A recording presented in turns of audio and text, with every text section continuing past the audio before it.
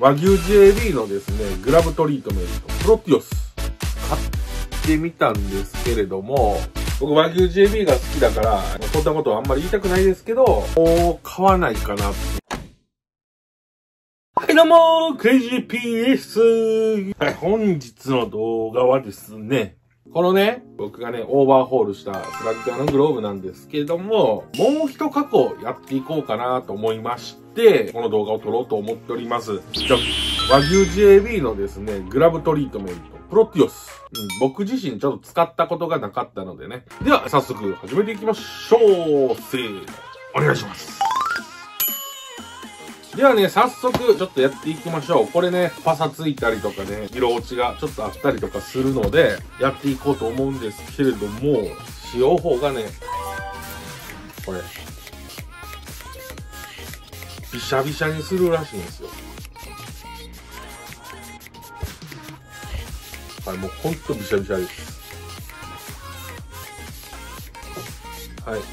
この中もね、結構取った方がいいって書いてあったんで、中も切ってなじませていく。だからね、汚れも落ちるし、その栄養分も入っていくっていうことだったんですけど、言われた通りにやりましたと。まあ結論から言うと、何日間か経ったらまた変わってくるんかもしれないんですけど、すんごい量をかけんと、中途半端にしてしまうと、色ムラが出る可能性がありますね、結構。しっとりした感じはやっぱりね、ありますね。濡らしてるからかもしれないですけど。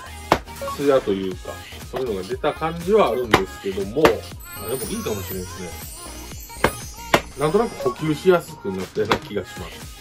だから軟化剤にもちょっと使えたりするのかもしれないですね、これ。スラッガーにはね、結構相性がもしかしていいかもしれないですね。パサパサなんで、結構吸収されて、いい感じとツヤが出てきましたね。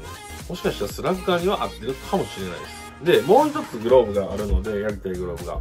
それに試してみようと思います。あ、もう二つかな？キャッチャーミットと水のプロのグローブ。これもね、色落ちがすごいので、試してみようかなと思います。まずは水のプロ、試していきます。これさっきのようにね。もうさっきよりちょっと多めに振っちゃおうかなと思います。もう水が垂れるぐらいでいいって書いてたので。しかも重くならないって書いてますね。あのね、いや結構思ったよりびちょびちょにしたつもりなんですけど、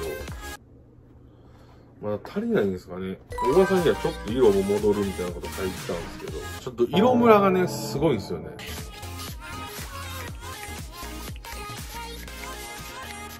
か色ムラがあるんで気になるんですよね、やっぱり。こういった色ムラがやっぱり僕気になるんですよ。なんであんまりね、こういう水分系っていうのは使いたくないなっていうのは思ってたんですけど、あとはタオルで拭き取っていきます。最初と比べて色の方戻ったんかなでもね、やっぱり色ムラが出るっすね。な、何が違うんですかねまあこれちょっと時間経てば色ムラとかなくなるんかもしれないですけど、僕のやり方が悪いのか。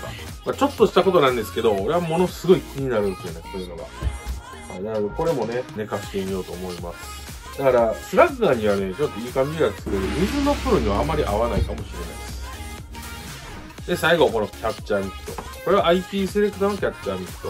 まあ一応、これでもやってみましょう。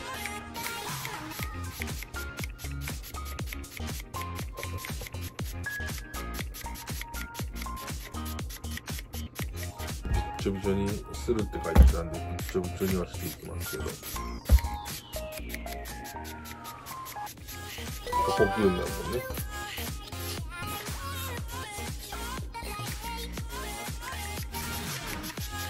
これの場合ちょっと時間置いてみましょうか。これをなじませるって書いてたので、なじましていきましょう。うん。やっぱりね、たっぷり塗ったけど、色ムラがすごい。あ、でも吸い込んでいってるっていうことなのかな。もっと吸い込んでほしいな。ちょっとね、あれと思ってます。はい、同じように取っていきます。まあ、乾いたら変わるんかな。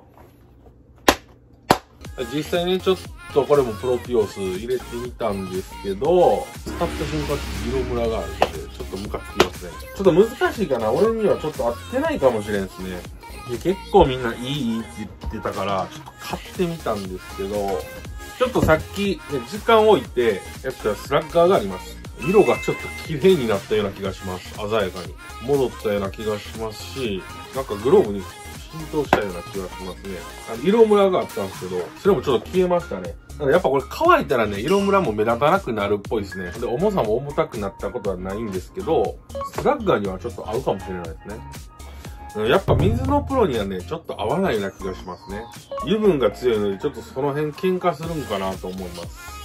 IP セレクトに関しては、まだちょっと塗りたてなんで、色ムラがどうなるかわからないので、でも乾いてくることによってさっきより色ムラは少なくなってきてるので、まあ、シリコンが入って、革質はね、ちょっともっちりと変わったような気がしますね。ただ、うん。まあ僕はちょっとちょっと流行ってるっていうのにいいって言われたので、買ってみたんですけれども、うーん、正直言うと、えー、もう買わないかなっていう感じのオイルですね。これ個人の見解なので、コスパが悪すぎます。だから1個のグローブね、やるのに1000円ぐらいかかると思った方がいいかもしれないです。だいたい3回分ぐらいしか使えないんじゃないですかね。あんだけたっぷり使うなら。そういう面を考えると、ちょっとコスパに問題がすごいあると思いますね。他にもいいオイルはあるので、そっちの方を選ぶかなとは思いましたね。